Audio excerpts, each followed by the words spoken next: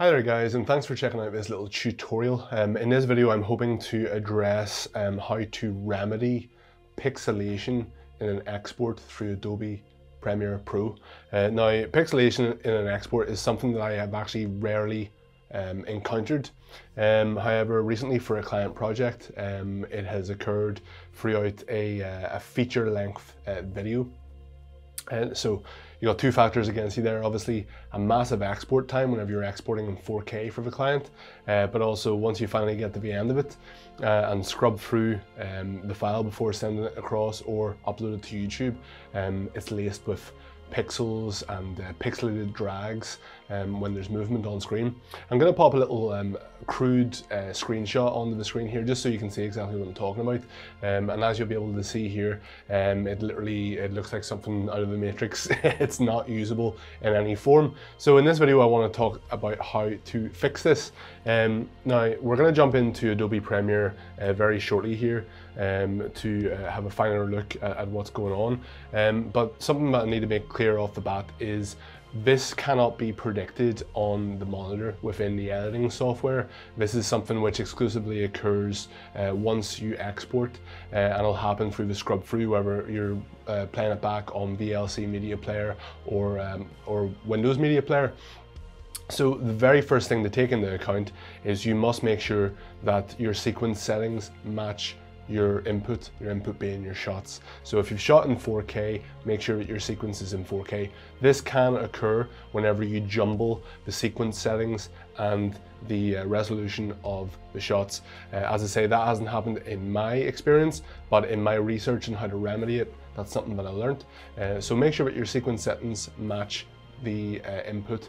Uh, but here, without any further ado, we're going to jump into Adobe Premiere Pro. Uh, and instead of actually using the shot, because it is a client video of mine, um, we're just going to use the uh, screen grab as an example um, of how to remedy this. So I'll see you in Premiere. So here we are guys, we're in Adobe Premiere Pro and the version is currently 22.2.0 build 128. Uh, but we've absolutely no reason to believe that this uh, the information in this video uh, will be invalidated by future builds of Adobe Premiere Pro. Um, for the sake of argument, I have the uh, previously used screenshot in the timeline here. Um, the only reason I don't want to use the real world client uh, timeline is because the client hasn't uh, used the video content yet uh, and I want obviously them to have priority on their own content. So for the sake of argument I'm just going to load in the uh, screenshot here but as you can see it is absolutely uh, it's absolutely savage especially after a feature length export um, to scrub through and define this it really is a worst case scenario. So the fix if we hit control M we can see the previous sequence settings, or excuse me, the previous export settings um, for this video. 99% of the time, I have not had an issue with H.264 and a simple match source high bitrate just for delivering a review copy to uh, the client and then obviously you can bump up uh, the bitrate and such um, if you are uh, delivering you know the, the higher quality stuff uh, for the client but for a review a simple high source or match source high bitrate is absolutely fine. On this occasion though, it did not go so well. so the fix, we're going to switch from H.264 to HEVC, aka H.265. Um, and we're just going to go with a match source high bitrate. However, Adobe gives plenty of options here um, to um, stretch out on the export. This is the solution to uh, this pixelated export. Um, HEVC compression is 50% more efficient than AVC. Um, so you will arguably get a, uh, a shorter export time with um, a lot higher video quality going forward. Um, the other way you can fix this, which didn't exactly suit me, because obviously of the runtime of the video, is by switching over to QuickTime uh, and uh, exporting with um, an Apple ProRes preset. Um, I use this also, however, with a with a feature length video, uh, the file size is in and around 350 gigabytes in my experience, uh, so it's utterly uh, useless to the client. You cannot get it onto YouTube.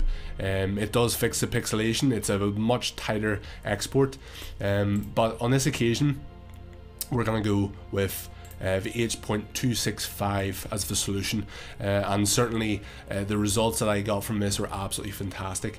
Uh, as I previously mentioned 0.264 was my standard and has been for years. However, going forward, um, 0.265 ensures that this does not happen. Um, it is a more modern codec for modern devices, um, a far better um, and a far better output. I'll get my tongue back.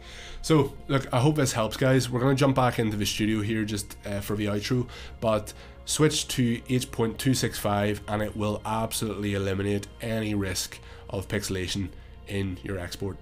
And there we have it guys, one less thing to worry about whenever we're exporting, whether it's a long video or a short video, the H.265 codec should keep us right and help us avoid pixelation from here on in.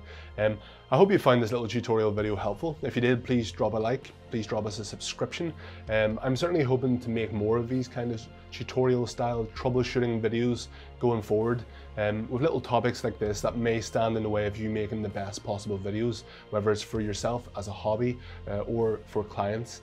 Um, so drop us a like, drop us a subscription, and if there's any topics or anything that you want me to cover in the video, drop a little comment down below um, and I'll certainly consider making a video for it if I know the solution. Um, but anyway, thanks again for watching guys, really appreciate it and we'll see you in the next one.